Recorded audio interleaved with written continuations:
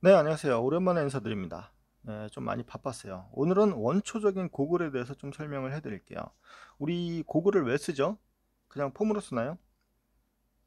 고글은 자외선과 그리고 외부에서 오는 충격으로부터 눈을 보호하기 위해서 사용을 해요. 그런데 가격대가 굉장히 많이 비싸죠. 이렇게 다양한 컬러와 그리고 다양한 성능이 많죠. 요즘에는 뭐 별의별 성능들이 다 들어가 있더라고요. 뭐 코 안쪽을 갖다 비강을 뭐 넓히는 것들도 있고 습기가 차지 않게 안쪽에 막 이렇게 구멍이 뚫려 가지고서 공기가 순환이 되는 그런 구조들도 있고요. 그리고 변색이 되는 애들도 있고요. 자외선을 받으면 색깔이 변하는 그런 애들도 있고요. 그렇지만 오늘 보여드릴 거는 아주 원초적인 고글에 대해서 리뷰를 할 거예요. 제가 제품을 협찬을 받은 것도 아니고 제 돈을 주고서 산 겁니다. 먼저 이 고글의 성능에 대해서 이 고글이고요. 이 고글의 성능에 대해서 말씀을 드리면은 자외선 차단 99.9% 그리고 경량 그리고 polycarbonate polycarbonate 뭔지 아시죠? polycarbonate 핏이라고도 하고 그리고 열 가소성 플라스틱이라고도 하고요. 오토바이 쉴드, 오토바이 앞쪽에 그 이렇게 내려오는 visor 같은 거 있죠. visor가 아니라 앞에 투명으로 되어 있는 거, 그리고 비행기 캐노피, 그리고 여기에 객실 창문, 그리고 건축 소재 등으로 굉장히 많이 사용해요. 건축 소재 같은 경우에는 아파트 그 지하 주차장 같은 데 보면 초록색으로 이렇게 아크릴 같이 초록색으로 투명하게 되어 있는 거 있어요. 그런 애들이 이런 polycarbonate 재질로 되어 있어요. 만약에 걔네들이 쉽게 깨지는 아크릴 같은 거면은 우박 같은 거 맞으면 그냥 퍽퍽 깨져 버리겠죠. 근데 얘네들은 깨지질 않아요.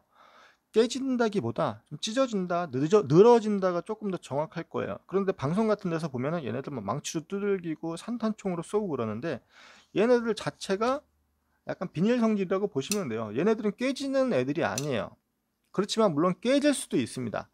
여기에 UV 코팅이 들어가 있는데 UV 코팅이 들어가 있는 이유는 얘네들이 굉장히 오랫동안 자외선에 계속 노출이 되면은 얘네들은 투명도가 떨어지고선 황변이 오면 깨질 수가 있어요. 그래서 UV 코팅이 돼 있는 걸로 알고 있어요. 어떻게 보면은 눈을 위해서 UV 코팅이 돼 있기보다 자신을 보호하기 위해서 코팅이 돼 있는 게 어떻게 보면 제 생각에는 그게 맞는 것 같아요. 그래서 얘네들은 깨지질 않습니다. anti-fog. anti-fog는 김이 서리지 않는 거예요.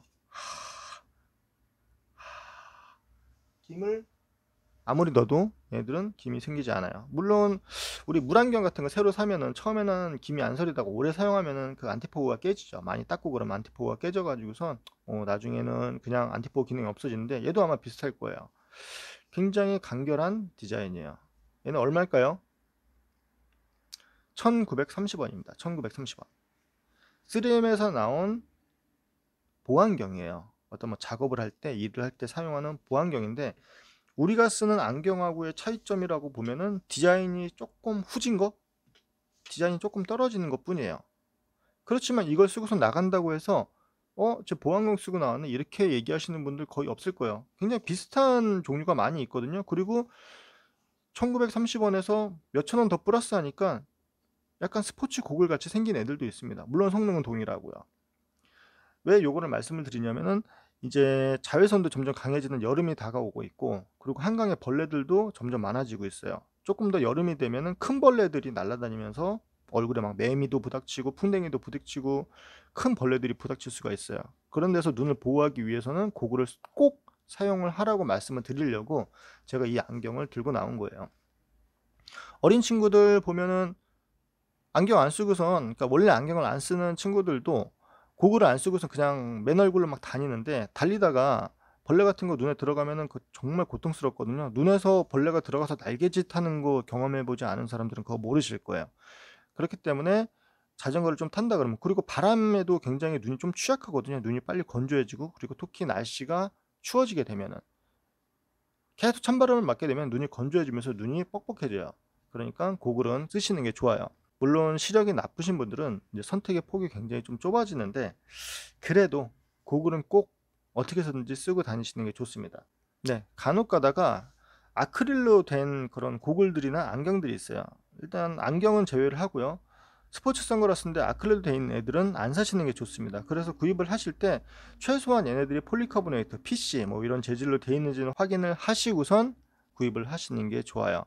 물론 저렴하 무조건 저렴하다고 해가지고선 어 이거 굉장히 무슨 스타일 같은데 그렇게 해서 사지는 마세요. 눈을 보호하기 위해서는 어, polycarbonate로 되어 있는 제품을 사용하시는 게 좋고 아크릴로 돼 있는 애들이 눈을 시력을 갖다가 더 안 좋게 할 수도 있다는 얘기도 들었어요. 안경 하시는 분한테. 그래서 아크릴로 돼 있는 스포츠 안경은 사지 마세요.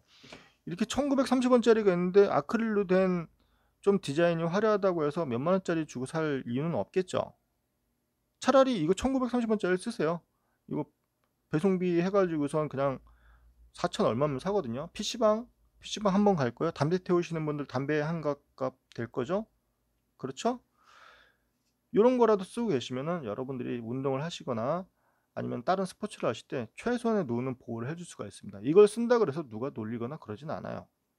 자, 그러면은 이제 얘가 진짜 자외선을 차단하는지 한번 볼 거예요. 자외선이 뭐죠? 태양에서 지구로 내리쬐면서 대기에서 한번 걸러지죠? 대기에서 한번 걸러지고선 내려오기 때문에 그렇게 사람한테 나쁘지는 않아요. 그렇지만 너무 과하게 되면 피부암이나 검버섯이나 기미 같은 게 생길 수도 있죠. 그렇지만 너무 부족하면은 비타민 D가 부족하니까 문제가 생길 수도 있겠죠. 과해도 안 좋고 너무 적어도 안 좋고. 그렇지만 이제 눈에 피부에 닿았을 때는 그런 이제 영향을 끼칠 수가 있고 만약에 눈에 태양빛이 닿으면은 아마 용접하신 분들 아크 용접이나 그 용접할 때도 그 눈에 아다리 걸린다 그러죠. 그것도 아마 비슷한 걸로 알고 있어요. 눈에 화상을 입는 거죠, 눈에. 그래서 눈에 염증이 생길 수도 있고, 그리고 세포가 손상이 돼가지고선 충혈 같은 거, 염증 이런 게 생길 수도 있어요. 한겨울에는 그 하얀색 눈이 있는 곳에서 계속 쳐다보게 되면은 자외선이 반사가 돼서 똑같이 눈이 시력이 손상이 될 수도 있다고 해요. 그러니까 자외선 차단을 꼭 해주시는 게 좋습니다. 한여름에 막 계속 다니면은 눈 피로해지잖아요. 그리고 바다나 아니면 물가에 있으신 분들도 꼭 안경을 쓰시는 게 좋습니다. 그래서 자외선 차단을 이렇게 투명한 애들도 자외선 차단을 해주는데 눈이 좀 부시겠죠. 너무 밝으니까 거기에서 약간 진하게 물이 들어가 있으면 이런 고글이 나오는 거겠죠. 이런 애들도 색깔이 좀 들어가 있는 게 있더라고요. 용접할 때 쓰는 거. 보안경인데 조금 들어가 있는 거. 그래서 일반 공업용 보안경하고 스포츠용 고글하고 차이가 굉장히 종이 한 장 차이인 것 같아요. 디자인 디자인만 조금만 넘어가게 되면 스포츠용이 될 수가 있고 디자인이 조금 덜 떨어지면은 이런 그냥 보안경이 될 수도 있고요. 어떻게 보면 원초적인 아주 기본적인 성능은 동일한 거죠. 얘를 그러면은 야 이거 저도 좀 의아했어요. 투명한데 자외선 차단이 된다고? 저도 의아했어요. 그래서 어? 그게 된다고? 그래서 아주 허접한 자외선 측정기를 하나 사봤어요. 자외선 측정기를 사서 얘네들은 햇볕에 있는 데서 제가 딱 되니까 그 햇볕에서는 치수가 좀 높이 올라가고 그늘로 가니까 뚝 떨어지더라고요. 그러면 얘네들이 어느 정도 카바를 해주는지 자외선을 막아주는지 알 수 있겠죠. 그리고 한 가지 더 테스트할 거는 얘는 변색고글이에요. 변색고글 위에다가 얘를 이렇게 포개고선 햇빛을 쐴 거예요. 그럼 얘네들이 자외선이 차단이 되면은 이 부분만 얘가 포개져 있는 부분만 나중에 봤을 때 변색이 안 되겠죠. 맞죠? 얘네들이 자외선을 차단니까 얘네들은 자외선을 받으면 색깔이 변하니까 검게 변하니까 요 위에 얘가 올라가게 되면 자외선 차단을 해주니까 변색되지 않겠죠. 그리고 마지막으로 얘를 망치로 사정없이 깰 거예요. 안 깨지겠죠? 안게 뻔해요. polycarbonate니까. 그리고 이 아크릴도 두들길 거예요. 아크릴도 망치로 쳐가지고선 어떻게 깨지는지도 한번 보여드릴 거예요. 그래서 아크릴로 되어 있는 안경이 얼마나 위험한지 그리고 꼭 polycarbonate 안경 을 써야 되는 이유에 대해서도 한번 확인을 하실 수가 있을 거예요. 단점으로는 얘네들이 scratch에 좀 약해요. 스크래치. 막 이렇게 확 긁으면은 날카로운데 긁으면은 scratch는 좀 약한데 그래도 눈은 보호해 줄 수가 있으니까 쓰는 게 낫겠죠. 그리고 이런 일반 색깔이 들어가 있는 이런 고글 같은 경우에는 오래 사용하다가 보면은 안경에 그 모서리 있는 부분부터 코팅이 벗겨지게 돼요. 벗겨집니다. 제가 써본 안경들은 다 그랬어요. 이 끝에서부터 아무래도 땀 때문에 염분 때문에 얘네들이 조금씩 조금씩 끄트머리가 좀 손상이 되는 것 같아요. 그래서 점점 점점 일어나더라고요. 때 그때는 안쪽에 막 가루가 막 떨어지고 벗겨져요. 그때는 렌즈를 교체하시는 게 좋습니다. 그러면 테스트하러 밖에 한번 나가 볼게요. 그냥 햇빛을 받았을 때 측정기에선 6이라는 값이 나왔고요. 이 위에다가 보안경을 올려놓고선 다시 찍어보면은 1이라는 숫자가 나왔죠. 완전히 제로는 아니지만 그래도 UV 차단을 확실히 할 수 있다는 걸 볼 수가 있죠. 6이라는 숫자가 보이고요. 물론 측정기가 조금은 허접하지만 그래도 어느 정도 확인할 수가 있습니다. 네, 1이 나왔어요. 그러면은 변색 고글 위에다가 보안경을 올려놓고선 자외선을 쐬보면은 햇빛을 보면은 더 정확히 알 수가 있겠죠. 일반 변색 고글 같은 경우에는 자외선, 햇빛을 받아야지만 얘네들이 진하게 색깔이 바뀌어요. 그렇지만 이 위에다가 자외선을 차단하는 3M 고글을 올리면은 3M 보안경을 올리면은 자외선을 차단해 주니까 그 부분은 변하면 안 되겠죠. 그리고 제가 이 영상을 다 찍고선 3M 보안경하고 아크릴하고 망치로 두들기는 장면을 찍었는데 아쉽게도 그 장면이 다 날라가 버렸어요. 슬로우 비디오로 찍었는데 그게 좀 뭔가 잘못됐더라고요. 그래서 얘네들 부시는 장면은 좀 녹화가 안 됐습니다. 나중에 그냥 부서진 것만 나왔어요. 죄송합니다. 네, 색깔이 점점점 변하는 게 보이죠? 변색 고글은 점점점 색깔이 진해지는데 보안경이 있는 부분은 딱 얘네들이 자외선을 막고 있으니까 색깔이 변하지 않죠. 신기하죠? 저도 이 보안경이 그냥 polycarbonate 저렴한 polycarbonate라고만 생각을 했는데 자외선이 차단된다라고는 상상도 못했어요. 그런데 홈페이지에 들어가서 보니까 UV 차단이 99.9%가 나와 있는 걸 보고선 깜짝 놀랐습니다. 점점점 진해지죠. 그리고 고글을 치우면은 저렇게 그 확연하게 딱 눈으로 차이가 나죠. 신기하죠. 그러면 아크릴은 자외선을 받았을 때 얼마나 그 이제 차단이 되는지 한번 확인해 볼게요. 6이라는 숫자가 나왔고요. 아크릴을 대놓고선 다 측정을 하면은 4라는 숫자가 나오네요. 아크릴도 약간의 어떤 UV 차단은 되나 봐요. 그리고 일반적으로 쓰는 제 고글 좀 진해요. 0이라는 숫자가 나오네요. 약간 미러 타입이거든요. 그래서 한여름에 썼을 때 눈이 좀 시원해요. 4라는 숫자가 나오고 그 위에다가 다시 올리고 손 체크를 해보면은 0이라는 숫자가 나왔어요. 그럼 변색곡을 한번 해볼까요? 네, 4라는 값이 나왔고요.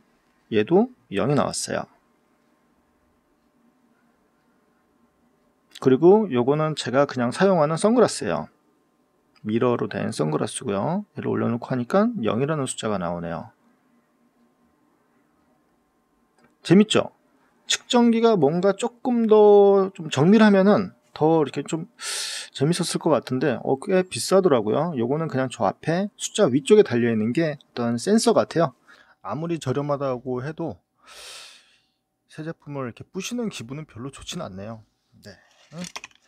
네, 아크릴은 한 방에 이렇게 완전히 날아가 버렸어요. 날아가 버리고 끝에도 굉장히 날카롭게 날카롭게 깨졌어요. 만약에 이게 얼굴에 착용하고 있었는데 얼굴이 만약에 땅에 전복이 돼가지고 얼굴에 부닥쳤는데 이런 식으로 깨지면은 많이 다치겠죠.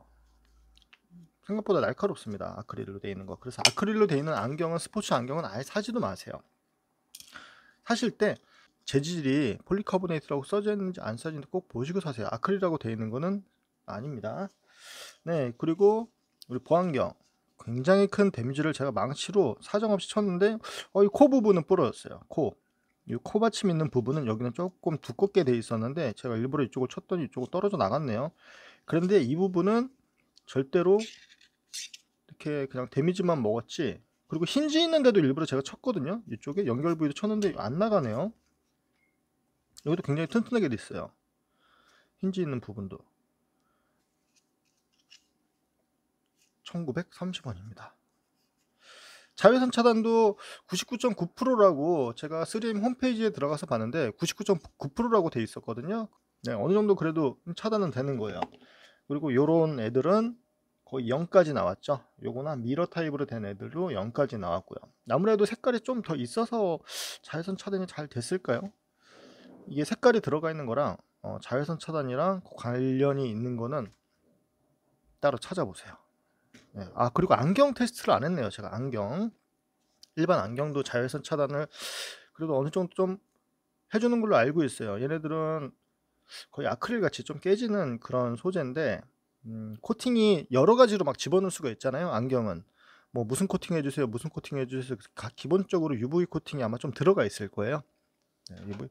이것도 블루 스크린 무슨 코팅도 했거든요, 제가. 그래서 얘네들 안경은 뭐 하실 수가 있을 거고 결론은 여러분들 그냥 PC방 한번 가지 마시고 담배 한 갑 덜 태우시고요. 고글이 없으신 분들은 이런 보안경 제가 제일 저렴한 걸로 테스트를 한 거거든요. 1930원짜리로 테스트를 한 건데 여기에서 몇천 원을 더 주면은 좀 더 스포티하게 생긴 애들도 종류가 여러 가지가 있었어요. 제가 뭐 3M을 홍보하는 건 아니고요. 최소한 요 정도는 써야지 자전거 탈 때 눈을 여러모로 보호를 해줄 수 있다는 걸 보여드리기 위한 거예요. 요런 거라도 꼭 끼고 다니십시오. 항상 안전 라이딩 하시고요. 고맙습니다.